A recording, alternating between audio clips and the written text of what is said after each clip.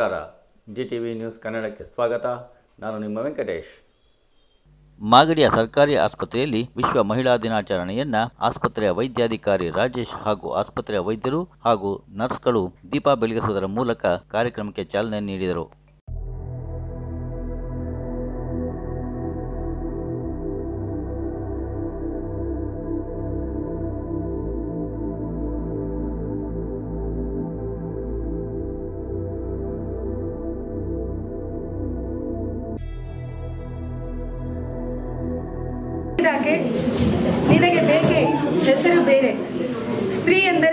ಅಷ್ಟೇ ಸಾಕೆ. G S Shivarudrappa ಅವರು ಬರೆದಿರುವಂಥ ಸಾಲುಗಳಿದು. ಎಲ್ಲರಿಗೂ ವಿಶ್ವ ಮಹಿಳಾ ದಿನಾಚರಣೆಯ ಗಣ ದೈವತಾಯ ಗಣಾಧ್ಯಕ್ಷಾಯ ಗುಣ ಗುಣಶರೀರಾಯ ಗುಣಮಂಡಿತಾಯ ಗುಣೇಶಾನಾಯ ಧೀಮಹಿ. ಗುಣಾದೀತಾಯ ಗುಣಾಧೀಶಾಯ ಗುಣಪ್ರಭಿಷ್ಟಾಯ ಧೀಮಹಿ.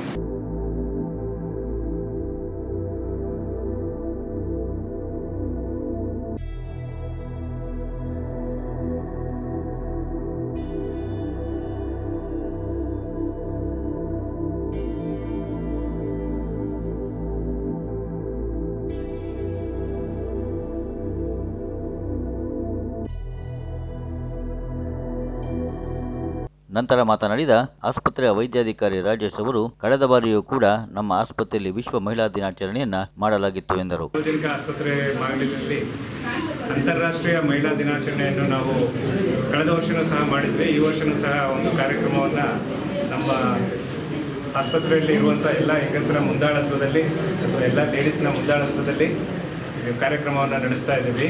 ಸೊ ಈ ಒಂದು ಅಂತಾರಾಷ್ಟ್ರೀಯ ಕಾರ್ಯಕ್ರಮ ಅಥವಾ ಅಂತಾರಾಷ್ಟ್ರೀಯ ಮಹಿಳಾ ದಿನಾಚರಣೆ ಉದ್ದೇಶ ಏನಪ್ಪ ಅಂದರೆ ಸಮಾಜದಲ್ಲಿ ಇರುವಂತಹ ಮಹಿಳೆಯರು ಮತ್ತು ಪುರುಷರ ಅಸಮಾನತೆಯನ್ನು ಕೊನೆಗಾಣಿಸೋದು.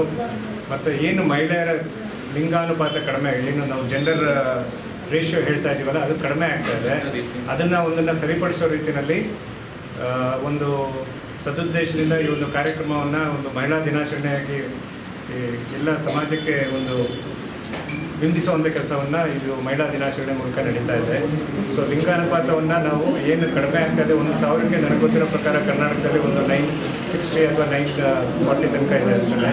ಸೊ ಒನ್ ಲಿಸ್ಟ್ ಒನ್ ಆಗಬೇಕು ಅನ್ನೋ ಉದ್ದೇಶವನ್ನು ಇಟ್ಕೊಂಡಿದ್ದೀವಿ ಅದೇ ರೀತಿ ಒಂದು ಈ ಒಂದು ಕಾರ್ಯಕ್ರಮದಲ್ಲಿ ನಮ್ಮ ಆಸ್ಪತ್ರೆ ಆಸ್ಪತ್ರೆ ಅಥವಾ ಹೆಲ್ತ್ ಡಿಪಾರ್ಟ್ಮೆಂಟ್ ಸಿಬ್ಬಂದಿಗಳನ್ನು ತೊಗೊಂಡ್ರೆ ಅರ್ಧಕ್ಕರ್ಧ ಮಹಿಳೆಯರೇ ಇರ್ತಾರೆ. ಸೊ ಅದರಿಂದ ಸೊ ಅವ್ರದ್ದು ಒಂದು ಸಂತೋಷದ ದಿನ. ಅಂತ ನಾನು ಭಾವಿಸ್ಕೊತೀನಿ ಇದನ್ನ. ಸೊ ಅದೇ ರೀತಿ ಸೊ ಸುಮಾರು ಆ್ಯಕ್ಟಿವಿಟೀಸ್ನ ಈ ರೀತಿ ಈ ಸಲ ನಮ್ಮ ಮಂಜುಳಾ ಮೇಡಮ್ನವರು ನಡೆಸಿದ್ದಾರೆ. ರಂಗೋಲಿ ಸ್ಪರ್ಧೆಯಿಂದ ಹಿಡಿದು ಫ್ಯಾಷನ್ ಶೋವರೆಗೂ ಮಾಡಿದ್ದಾರೆ. ಸೊ ಹೆಣ್ಮಕ್ಳು ನಗ್ತಾ ಇರಲಿ. ಸೊ ನೀವು ನಗ್ತಾ ಕೆಲಸ ಮಾಡಿದ್ರೆ ನಮ್ಮ ಆಸ್ಪತ್ರೆ ಚೆನ್ನಾಗಿ ಮುಂದೆ ಬರ್ತದೆ. ಸೊ ಎಲ್ಲಿ ಹೆಣ್ಮಕ್ಳು ನಗ್ತಾ ಇರ್ತಾರೆ, ಅಲ್ಲಿ ಕೆಲಸ ಮಾಡೋ ವಾತಾವರಣ ಚೆನ್ನಾಗಿರ್ತದೆ ಅನ್ನೋದು ನನ್ನ ಭಾವನೆ.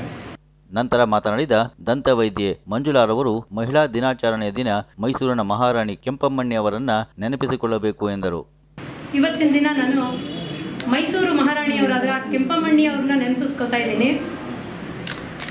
ಅವರು ಕನ್ನಂಬಾಡಿ ಕಟ್ಟೆ ಕಟ್ಟುವಾಗ ಒಂದು ಸಣ್ಣ ಕತೆ. ಕನ್ನಂಬಾಡಿ ಕಟ್ಟೆ ಕಟ್ಟುವಾಗ ಎಲ್ಲ ಥರ ಫೈನಾನ್ಸ್ ಕೂಡ ಮುಗ್ದೋಗುತ್ತೆ. ಅರಸರ ಹತ್ರ ಇರುವಂತಹ ಇದು, ಅವರ ಖಜಾನೆಯಲ್ಲಿರುವಂತಹ ಒಡವೆಗಳನ್ನ ಮಾರ್ತಾರೆ. ಅವರ ಖಜಾನೆಯಲ್ಲಿರುವಂತಹ ದ ದಿನಸಿಗಳನ್ನ ಎಲ್ಲನೂ ಮಾಡ್ತಾರೆ. ಆಗ ಅವರು ಸ್ವಂತವಾಗಿ ಮನೆಯಲ್ಲಿ ತಮ್ಮ ರಾಣಿ ವಂಶಕ್ಕೆ ಅಂತ ಏನು ಇಟ್ಕೊಂಡಿರ್ತಾರಲ್ವಾ, ಆ ಒಡವೆಗಳನ್ನು ಕೂಡ ಕೊಟ್ಟು ಅವತ್ತು ಅವರು ತ್ಯಾಗ ಮಾಡಿ ಅವರ ಒಂದು ಉದ್ದೇಶ, ಒಂದು ಏನಿತ್ತು, ಜನಗಳಿಗೆ ಒಳ್ಳೇದಾಗಬೇಕು ಅನ್ನೋ ಉದ್ದೇಶ. ಸೊ ಆ ಉದ್ದೇಶ ಇಟ್ಕೊಂಡು ಅವರು ಸ್ವಂತಕ್ಕೆ ತನಗೆ ಅಂತ ಸ್ವಾರ್ಥ ಮಾಡ್ದೇನೆ. ತಾವು ತಮ್ಮ ಖಜಾನೆಯಲ್ಲಿಂತಹ ಇದ್ದಂತಹ ರಾಜರ ವಂಶಸ್ಥರೆ ಅದು ಅಷ್ಟು ವರ್ಷಗಳಿಂದ ಬಂದಂತಹ ಒಡವೆಗಳನ್ನ ಕೂಡ ಕೊಟ್ಟು ಅವರು ಅವತ್ತು ಕನ್ನಂಬಾಡಿ ಕಟ್ಟೆ ಕಟ್ತಾರೆ. ಸೊ ಅದಕ್ಕೆ ಆಗಿ ಈಗ ಹೆಚ್ಚು ಕಡಿಮೆ ಎಷ್ಟು ವರ್ಷಗಳಾದರೂ ಕೂಡ ಈಗಲೂ ನಾವು ಅವ್ರನ್ನ ನೆನಪಿಸ್ಕೋತೀವಿ. ಯಾಕೆ ಅಂದ್ರೆ ಅವರ ಆ ತ್ಯಾಗ ಗುಣದಿಂದ. ನಂತರ ಸಭಾಂಗಣದಲ್ಲಿ ಸಾಂಸ್ಕೃತಿಕ ಕಾರ್ಯಕ್ರಮ ನಡೆಸಿದರು. ಜೊತೆಗೆ ಹೆಣ್ಣು ಮಹಿಳೆ ಅಂತಂದರೆ ಹೆಣ್ಣು. ಹೆಣ್ಣು ಅಂದರೆ ತಾಯಿ. ತಾಯಿಯಾಗಿ ದೇವತೆಯಾಗಿ ಸಹೋದರಿಯಾಗಿ ಮಡದಿಯಾಗಿ ಆಯಿತಾ? ಗೆಳತಿಯಾಗಿ. ಎಲ್ಲ ರಂಗದಲ್ಲೂ ಎಲ್ಲ ವಿಭಾಗಗಳಲ್ಲೂ ಕೂಡ ನಮಗೆ ನಮ್ಮ ಏಳಿಗೆಗೆ ಸಹಕಾರ ನೀಡ್ತಾರೆ. ತಾಯಿ ಅಂತಂದರೆ, ಆ, ತಾಯಿಯ ಶಬ್ದಕ್ಕೆ ಎಷ್ಟು ಹೊಗಳಿದ್ರೂ ಕೂಡ ಅದಕ್ಕೆ ಪದಗಳು ಸಾಕಾಗೋದಿಲ್ಲ ತಾಯಿ ಅಂತಂದರೆ, ತಾಯಿ ಬಗ್ಗೆ ಒಂದು ಹಾಡು ಹೇಳ್ತೀನಿ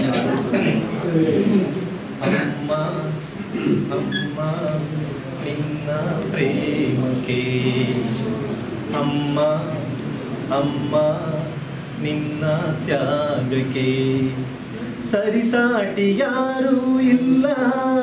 ನಿನಗಿಂತ ದೇವರಿಲ್ಲ. ಸರಿಸಾಟಿ ಯಾರೂ ಇಲ್ಲ. ನಿನಗಿಂತ ದೇವರಿಲ್ಲ.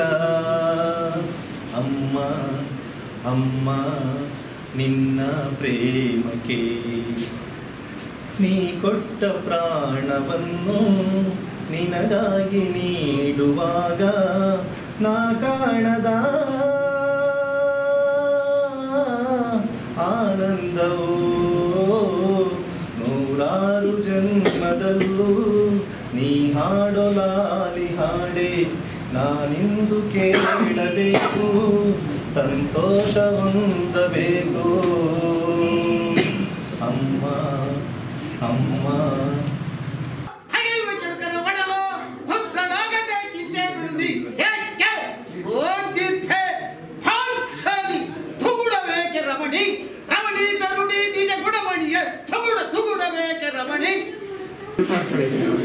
ಶಾಂತೆ ಶಾಂತೆ ಹೊರತೀರಳಾಗಿ ಹೊರಪತ್ತಿಯಾಗಿ ಮರ್ಕೌ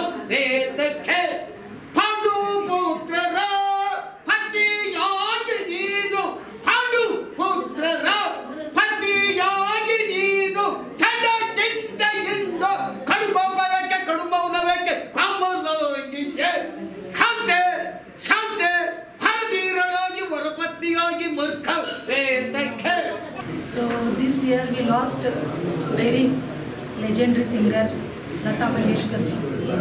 So I want to sing two lines as a tribute to Lata ji.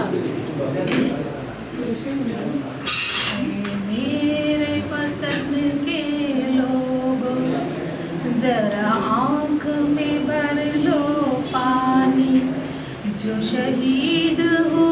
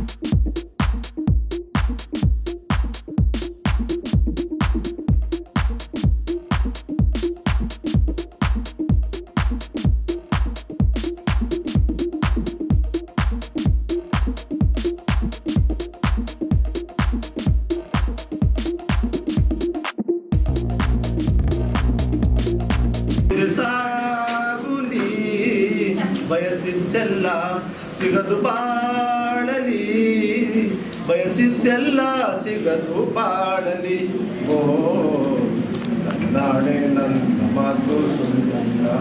ಓ, ಕನ್ನಡೆ ನನ್ನ ಮಾತು ಸುಳ್ಳಲ್ಲ.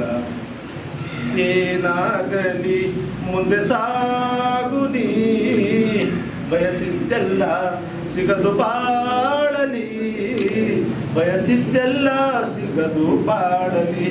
ಓ ನಾನೇ ನನ್ನ ಮಾತು ಸುಳ್ಳಲ್ಲ. ಓ ನಾನೇ ನನ್ನ ಮಾತು ಸುಳ್ಳಲ್ಲ.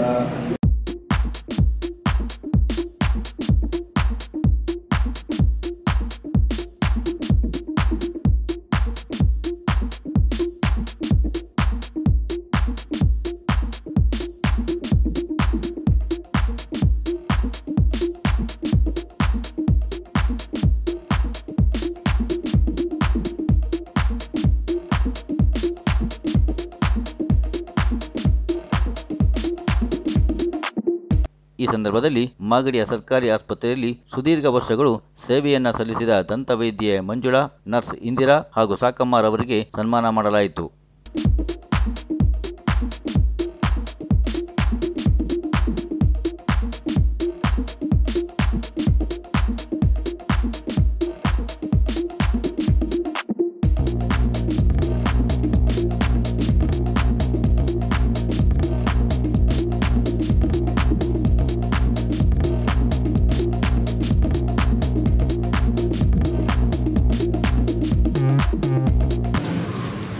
ಇಡೀ ವಿಶ್ವ ಕಂಡಂಥ ಅಪರೂಪದ ವ್ಯಕ್ತಿತ್ವವನ್ನು ಹೊಂದಿದವರು ನಡೆದಾಡುವ ದೇವರು ಸಿದ್ಧಗಂಗಾ ಶ್ರೀಗಳು.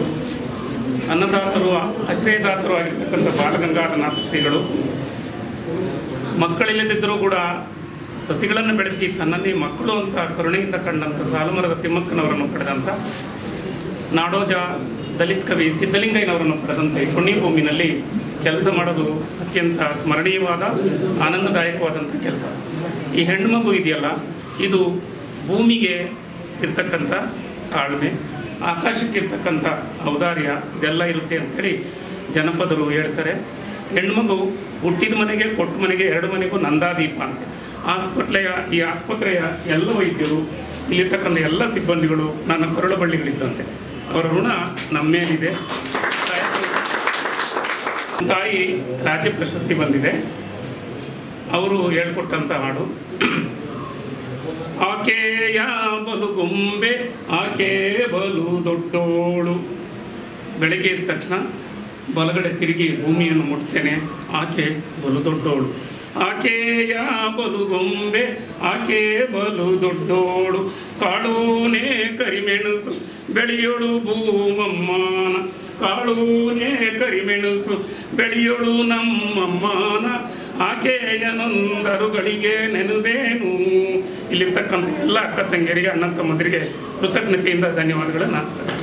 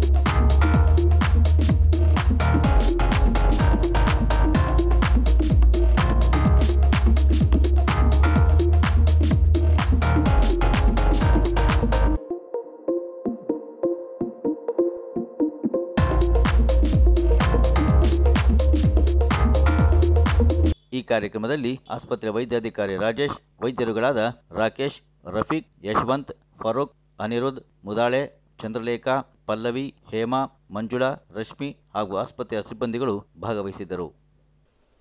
ಇದು ಇವತ್ತಿನ ಮಾಗಡಿಯ ಸುದ್ದಿ ಸಮಾಚಾರ. ನಿರಂತರ ಸುದ್ದಿ ಸಮಾಚಾರಕ್ಕೆ ವೀಕ್ಷಿಸಿ ನಿಮ್ಮ ಜಿ ಟಿ ವಿ ನ್ಯೂಸ್ ಕನ್ನಡವನ್ನು. ವಂದನೆಗಳು.